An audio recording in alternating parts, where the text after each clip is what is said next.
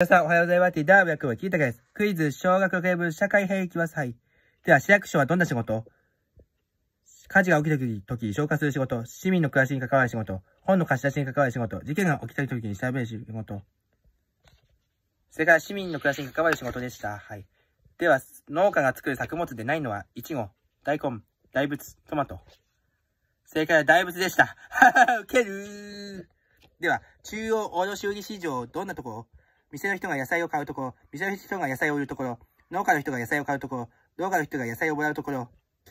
正解は、店の人が野菜を買うところでした。農家の人が野菜をもらうところで、これ、泥棒ですよ、泥棒。はい、警察呼びですね。はい。では、コンピューターで売れ具合を調べて厨房する仕事は何でしょう？事務。野菜を切る人。惣菜を作る人。魚をさばく人。正解は事務員です。では、消防士の仕事でないものは、逃げ遅れた人の救助、火事の火を消す、ガスを止める。正解はガスを止めるでした。ガス会社です、これは。はい。119番通報つながるのは、消防団、消防本部、通信指令室、警察署。正解は通信指令室でした。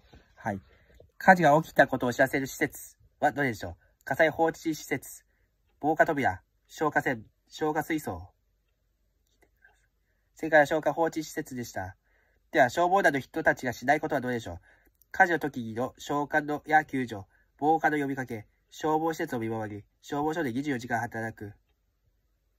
正解は消防署で24時間働くは消防士の仕事です。